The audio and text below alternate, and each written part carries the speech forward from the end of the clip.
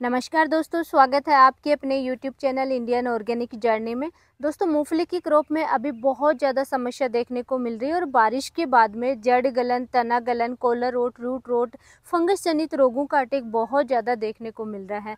जड़ें अगर काली हो रही हैं, सड़ रही हैं तना या जड़ या तने का बीच का जो भाग मिट्टी के टच में होता है, वहाँ कोलर रोट जिसे कहते हैं तो वो कोलर वाला भाग अगर ख़राब हो रहा है, काला हो रहा है, इस टाइप की समस्याएँ आ रही हैं तो आपको क्या करना चाहिए? तुरंत आप इस रोगों को कैसे कंट्रोल कर सकते हैं? संपूर्ण जानकारी इस वीडियो में शेयर करूँगी और बिना स्प्रे के, क्योंकि सभी के पास स्प्रे मशीन नहीं होती हैं, अगर आपके पास स्प्रे मशीन नहीं है, स्प्रिंगलर से सिंचाई कर रहे हैं या खुला पानी भी आप चला रहे हैं तो बहुत आसान तरीके से आप कैसे कंट्रोल कर सकते हैं। जानने के लिए वीडियो के अंत तक ज़रूर बने रहें। उससे पहले दोस्तों, अगर आपने अभी तक चैनल सब्सक्राइब नहीं किया है तो चैनल सब्सक्राइब आप ज़रूर करें बेल आइकन को प्रेस करें, ताकि इसी तरीके की नॉलेजफुल जानकारी आपको सबसे पहले मिलती रहे। तो दोस्तों, मूंगफली की क्रॉप में जो फंगस जनित रोगों का अटैक है, ये बारिश के बाद में अभी ज़्यादा देखने को मिल रहा है। बारिश का अगर पानी का भराव लंबे समय तक आपके खेत में रहता है, तब भी ये अटैक देखने को मिल सकता है, या फिर अगर आप पानी ज़्यादा दे रहे हैं अपनी क्रॉप में, तब भी अटैक हो सकता है। या फिर तीसरी सिचुएशन है कि अगर आप पानी बहुत कम दे रहे हैं, तब भी आपकी क्रॉप में फंगस जनित रोगों का अटैक देखने को मिल सकता है। जड़ गलन, जड़ें खराब हो रही हैं, रूट रोट है, कोलर रोट है, तने से पूरी क्रॉप खराब हो रही है, तना खराब हो रहा है, तना काला हो रहा है तो ये फंगस का ही अटैक है, फंगस जनित रोगों का अटैक है। आपको बहुत ही अच्छे सिस्टमिक फंगिसाइड को यूज़ करना चाहिए। इस वीडियो में मैं दो ऐसे फंगिसाइड के बारे में डिस्कस करूँगी, जो मार्केट में हर कहीं पे आसानी से आपको अवेलेबल हो जाएँगे और बहुत अच्छे से आपकी क्रॉप में तुरंत रिज़ल्ट देखने को मिलेगा इफ़ेक्टिव रूप से ये काम करते हैं। सबसे पहले दोस्तों स्प्रे की बात की जाए तो बायर का बोनस फंगिसाइड आता है, जिसमें टैबुकेनाजोल अड़तीस पॉइंट नौ परसेंट एस फॉर्म में आता है, सफ़ेद कलर का लिक्विड गाढ़ा ये आता है।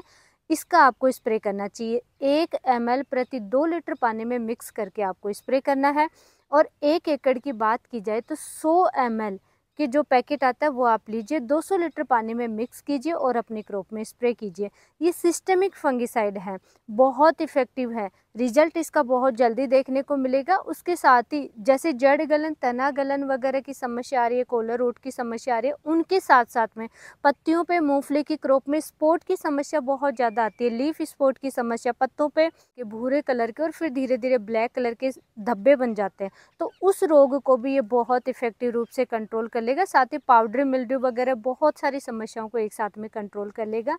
तो आप बायर के बोनस फंगिसाइड को यूज़ कर सकते हैं। ये हर कहीं पे आसानी से अवेलेबल हो जाता है। अब दोस्तों सेकंड सिचुएशन कि आपके पास स्प्रे मशीन नहीं है या स्प्रे आप करना नहीं चाहते और बहुत आसान तरीके से आप इस रोगों को कंट्रोल भी करना चाहते तो बहुत ही अच्छा सोल्यूशन है कि आपको बाविस्टिन फंगिसाइड प्लस मैनकोजेब जो एम पैंतालीस आता है, उनका आपको इस्तेमाल करना चाहिए। ये देखिए दोस्तों, ये है बाविस्टिन फंगिसाइड जो कि क्रिस्टल का आता है। इसमें टेक्निकल कंटेंट की बात की जाए तो इसमें आता है कार्बन डाइजिम पचास परसेंट। ये मैं आपको पास से कवर करवाती हूँ और ये बाविस्टिन फंगिसाइड है। इस, ये आपको लेना है एक के जी अगर समस्या ज़्यादा है तो एक के जी लीजिए और समस्या अभी शुरुआती स्टेज ही है, बहुत कम एक दो प्लांट में आप देख रहे हैं तो फिर आप 500 ग्राम भी ले सकते हैं।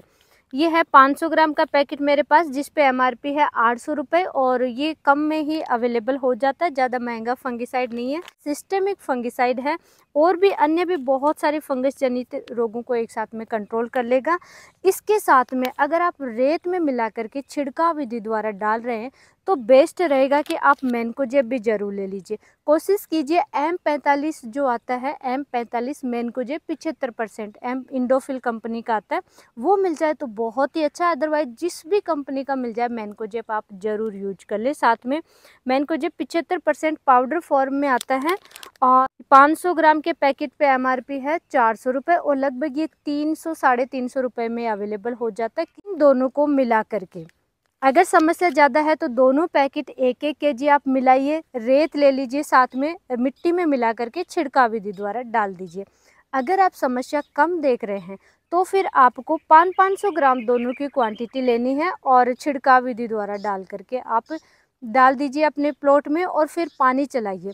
पानी आप चलाएँगे, कम से कम 20 मिनट आप पानी, क्योंकि बारिश का अगर पानी है, बारिश आ रही है बार बार तो ज़्यादा पानी आप नहीं चला सकते, नहीं तो समस्या बढ़ेगी। और सिस्टमिक तरीके से काम करेगा और मैन को जब है ये कॉन्टैक्ट तरीके से काम करेगा। बहुत ही अच्छा रिज़ल्ट मिलने वाला, बहुत ही आसान तरीके से यूज़ होने वाला ये फॉर्मूला है। दोनों को मिला करके, रेत में मिला करके पूरे प्लॉट में छिड़काव कर दीजिए। क्योंकि मूंगफली की क्रॉप ऐसी होती है कि इसको ड्रिप विधि से बहुत कम किसान करते हैं। मोस्टली स्प्रिंगलर से सिंचाई की जाती है। तो रेत में मिला करके आप डाल दो और फिर पानी चला दो। अगर स्प्रिंगलर से सिंचाई कर रहे हैं तो कम से कम बीस मिनट आप पानी ज़रूर चलाएँ। और थर्ड सिचुएशन बनती है कि बाविस्टिन कार्बनडाजिम प्लस एम पैंतालीस यानी मैनकोजेब। मैनकोजेब और इनको कार्बन डाइजिम को मिला करके एक जगह आप रख लीजिए, फिर उसमें से जो आप कॉम्बिनेशन तैयार किए, इसमें से दो ग्राम पर लीटर के हिसाब से गोल तैयार करके आपकी क्रॉप में स्प्रे करना है। केवल बाविस्टिन का भी आप स्प्रे कर सकते हैं, लेकिन अच्छा रहेगा कि आप मैनकोजेब भी मिला लें, क्योंकि ये भी बहुत सारे फंगस जनित रोगों को भी कंट्रोल करता है। इसका रिज़ल्ट क्रॉप में बहुत अच्छा देखने को मिलता है, लेकिन ये कॉन्टैक्ट फंगिसाइड है, इसलिए इसके साथ में कार्बन डाइजिम लेना ज़रूरी है। और एक एकड़ के लिए 400 ग्राम से 500 ग्राम तक आप यूज़ कर सकते हैं अपने क्रॉप में स्प्रे के थ्रू। दोस्तों, मूंगफली की क्रॉप में और किस टाइप की समस्या आ रही है, मुझे कमेंट करके ज़रूर बताएँ। और अभी व्हाट्सअप पे बहुत ज़्यादा आपके व्हाट्सअप आ रहे थे, मैसेज आ रहे थे, मैं सभी को आंसर देना थोड़ा सा मुश्किल होता है, इसलिए मैंने आपके लिए ये वीडियो ही बनाया है। जानकारी अच्छी लगी वीडियो को लाइक ज़रूर करें, चैनल को सब्सक्राइब करें, ज़्यादा से ज़्यादा किसान दोस्तों तक शेयर ज़रूर करें। धन्यवाद।